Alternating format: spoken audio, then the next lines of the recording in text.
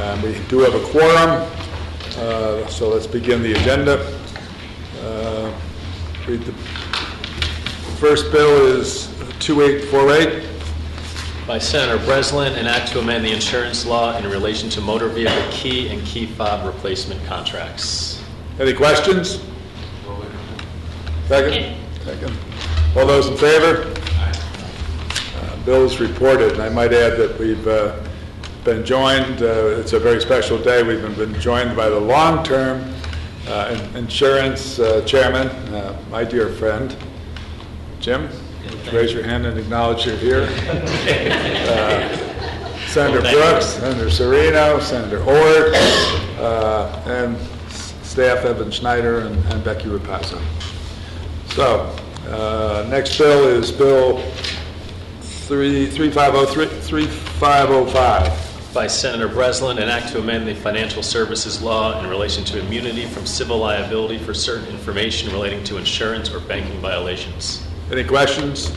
Based on the uh, co-sponsorship of this bill, I will uh, move that we leave it. We appreciate that greatly. Have a motion? Uh, Moved by Senator Brooks, second by Senator Serino. All those in favor? Bill is reported. Next bill is Bill 3637. By Senator Breslin, an act to amend the insurance law in relation to unclaimed life insurance benefits. Any questions? Motion to approve. Senator Ortt, seconded by Senator Serino. Uh, All those in favor?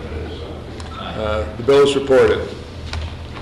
Next bill is uh, 3736. By Senator Breslin, an act to amend the insurance law in relation to exemption from filing requirements only with respect to rate, rates and policy forms. Any questions? We have a motion.